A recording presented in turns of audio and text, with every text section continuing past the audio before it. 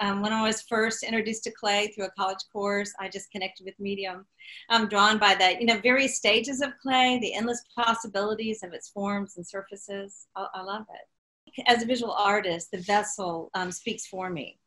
I created, you know, um, my desire is to create a language in order to, to facilitate an analogical conversation. And I do this by synthesizing my media, which is porcelain, and the process in order to just promote a dialogue. And each work becomes a dialogue, a dialogue that begins with me alone, the artist and the clay, just quiet, reflecting.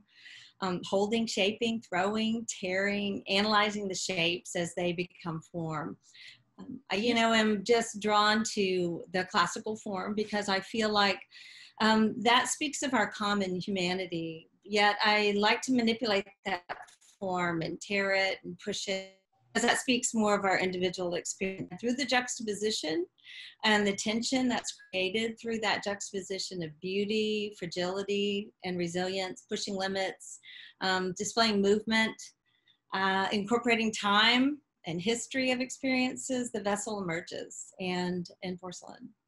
I think the vessel itself, you know, invites and encapsulates the viewer into its story. We use vessels for so many things. They're, you know, they're they're almost a picture of us as a person. You know, a vessel is named like the body is named, and um, it becomes a really nice dialogue without being too literal between kind of what's happening in our hearts and in our minds and the things that shape us through experiences and without being so um, just in your face about it. You know, we all have experienced um, a story that shaped us through loss, through disappointment, through pain, and it's interwoven with joy and with fulfillment.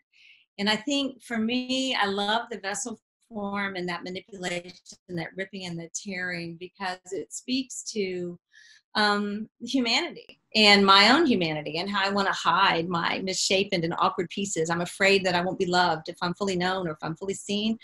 But that's not true. You know, I am fully known and I am fully seen. And through just my life, I've just learned to treasure the process that kind of the touch of God has put me on in my life. You know, He He's uses these experiences to draw me closer to Him and His love for me. And um, I realize he's always present and he's actually turning me, myself, into a vessel, you know, for the display of his glory as he just rips me open. And at the same time, he brings me joy. And so there's lots of direct analogy between my work and myself and life some of my work is open and like you have a you know one of my favorite pieces there that small open piece and um, to me it, it's it looks it's called freely given. And i think it looks like a piece that receives and gives at the same time. You can't tell what it's doing. Is it taking in or is it giving out? And i love the upward movement in that piece because it just um, it just it just really encapsulates what my work is about